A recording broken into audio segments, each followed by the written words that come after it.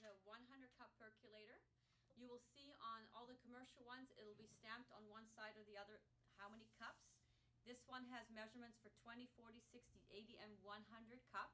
You can also see the stamping on the inside, so it's easy to know exactly where to fill it to. To start, once you have your cold water inside, you can also add this back in or do that before you put the water in. Either one is fine. There's a hole in the bottom where that goes into. And basket goes on top. There's a hole there, goes over the post, slide it on top. This basket does not need a coffee filter. It's not necessary. So the coarse grind coffee goes right directly into this basket.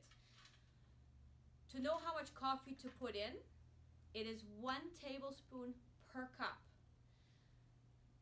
coffee that you'll be serving. So if you're filling the entire coffee urn to 100 cups of coffee of serving, you're going to need 16, uh, you're going to need 100 tablespoons because you're making 100 cups of coffee. But to, you don't want to be doing 100 spoons in the basket. So there's 16 tablespoons per measuring cup of coffee.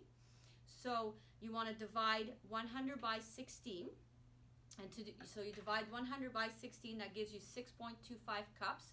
So I would put in, put your finger over the hole here, put in six and a half cups of coffee. It's much easier to count six than versus 100 tablespoons.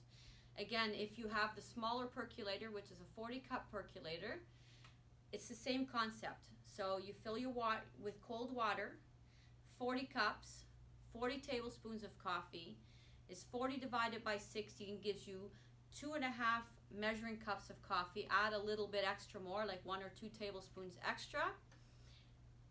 To know how long this is going to take to brew, it's one minute per cup.